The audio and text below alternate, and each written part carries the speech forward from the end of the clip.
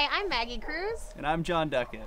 And it's the end of January here in wine country. And while most visitors come in spring, summer, or fall, we've had a great winter. We're supposed to be looking at some 70 degree weather in the next couple of weeks, and it hasn't been rainy too much. So we thought it'd be kind of fun to come out to AutoCamp in Guerneville um, on the Russian River and have some great Cabernet. Yeah, it's full of campers right now. January, no snow, no rain. It's beautiful. So yeah, good time of year to it. visit. No lines. mm It's all good. Since it's 2018, we thought it would be fun to open a 10 year old Cabernet today, and we are enjoying the Jordan 2008. It's hard to believe this wine is 10 years old already. Pretty crazy. Yeah. This was uh, a year before I came to the winery, so mm-hmm. I actually didn't have my hands in this one. Um, but in terms of the year, I remember we took a uh, field trip out from Davis, and this was a, a difficult year when mm-hmm. it came with weather. Uh, there were two big frosts in the spring and we went out to vineyards and saw that and um, yeah and then some fires in the towards the end of the year some lightning fires. So there was kind of a little bit of everything this year so we had to be really choosy with the different blocks and how to treat everything and just really being meticulous with everything if i'm not mistaken. Absolutely. 2008 was my third vintage at jordan and something that really struck me was how particular and meticulous we were about choosing lots that year um, we didn't have a lot of fruit because we got lost quite a bit to the frost. Sure. Um, what we had was good, but we also had the fires up in Mendocino, which um, were earlier in the season for fire season.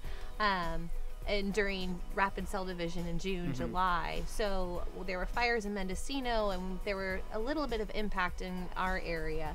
So we just really declassified and got rid of all the wine that had any impact from the, the fires in Mendocino. So yeah. it was already a small vintage that we chose to make even smaller just to make a high quality wine. And I think it's paying off really in the aging process. Absolutely.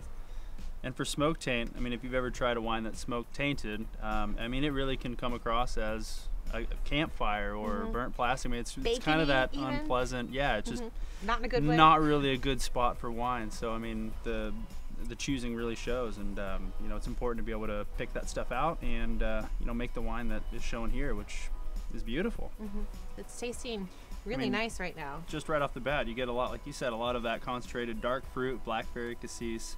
Yeah, just just a really nice concentration. Mm-hmm. I'm getting a lot of black cherry. Totally. Yeah, absolutely.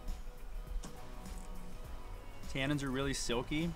It's a really smooth wine. I like the dark, dark cherry even on the palate. Mm-hmm. If I were tasting this blind, I would not believe that this was 10 years old. It's tasting really young. It's funny when the 2008 came out, it was a little bit more subdued, a little bit more mellow and lighter in style. And it's as it's aged, it's gotten a little bit bigger and livelier. It's pretty yeah, interesting. The tannins are a little bit more.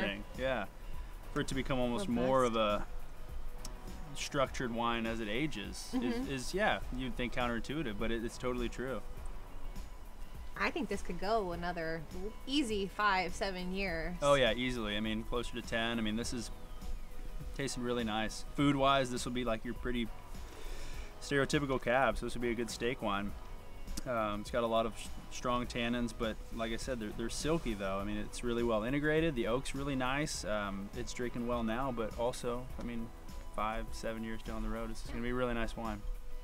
The black cherry on the palate almost lends itself to duck, in my opinion. Like a, you know, yeah, a nice roast that would duck. be really, really good. Mm-hmm. I mean, anything that you're cooking on the grill. Um, yeah, this is a good wine out at out at a campsite. Yeah, sure. Well, thanks for joining us for our first video of 2018. This 2008 cab was fun to taste again after 10 years. Mm-hmm. Uh, any other wines you guys want us to try?